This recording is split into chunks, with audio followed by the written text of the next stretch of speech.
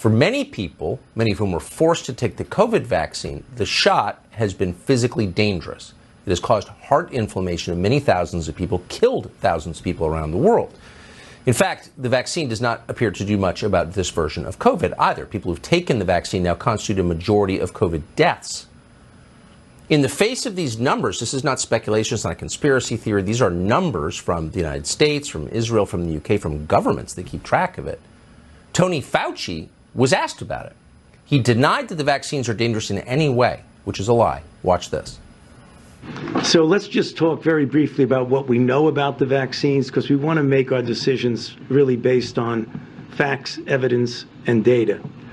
Are the vaccines safe? That keeps coming up. Clearly, an extensive body of information clearly indicates that they're safe. That's not true. Pfizer's own clinical trials show that they're not safe. More people have been injured by this vaccine, the mandatory vaccine, than by all vaccines administered in the United States over the past 30 years combined.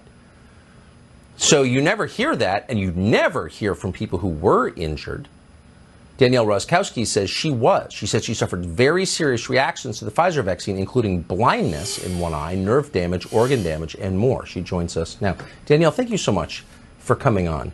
Um, what happened to you after you took the shot, why did you take the shot? Were you pushed into taking it? Did you take it voluntarily? And how did your doctors respond? Hi, Tucker. Thank you so much for having me on, and I really hope that my story can help um, impact others. And to answer your questions, I um, I was not forced to take the Pfizer vaccine. I elected to take the the vaccine because I thought that it was safe and effective, and I believed our nation's leaders when they told us that. But unfortunately, as you know, safe and effective is not for everyone. So, yes. um, since taking the Pfizer vaccine, I had over 200 tubes of blood drawn.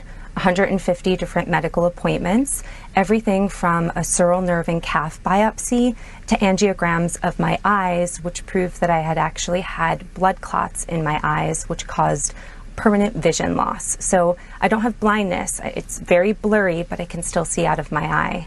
Um, additionally, my husband and I were actually told by NYU Fertility that this has impacted our fertility and that we um, would probably have to freeze our embryos due to potential pregnancy complications down the line.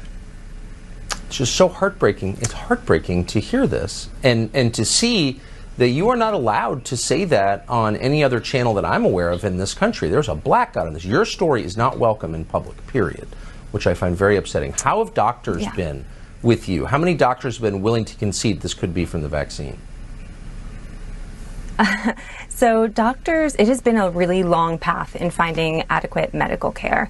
Um, so, when this first happened, doctors didn't really know what was going on, and a lot of them, you know, did not say that it was the vaccine. However, the current critical care team that I do have in place does believe that it was all caused from the vaccine, especially as more information is coming out about the repercussions of, of the vaccines and, you know, the nine pages of side effects that, you know, the Pfizer documents have kind of revealed. It, it's kind of a consensus now that this did happen from the vaccine.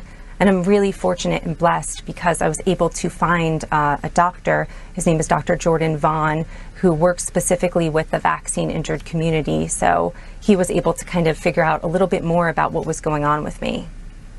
You have such a gentle attitude, and your, your kindness resonates. I don't know if I would feel that way if I were you. those documents you refer to, the side effects from that Pfizer conceded at the very beginning, those have been available since the vaccine rolled out almost two years ago. Or why didn't you know about them? Did you know about those side effects, potential side effects, when you took this shot?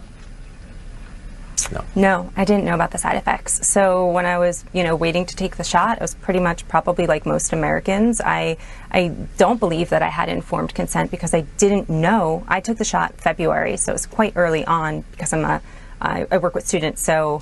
Um, and having a background in teaching, I wanted to get the shot as soon as I possibly could. Yeah. Um, but um, yeah, and, uh, and thank you for telling me that I had that sort of gentle and kind, you know, um, attitude about me. It wasn't always the case. I was really angry after all of these yes. side effects started happening to me. Yeah, but I, I well, wanted I'm, to take that sort of anger and channel it. Yeah. Well, bless you for sorry, doing that. And I and I'm no, I'm I'm so you're the injured party, not me. So I'm sorry to throw my anger on you. It's just that the fact that you can't say this in public in most places is so distressing. And uh, I know it takes bravery to admit you've been injured uh, by doing something they told you to do. Uh, but I know that takes bravery, so I appreciate your doing it tonight. Danielle, Godspeed.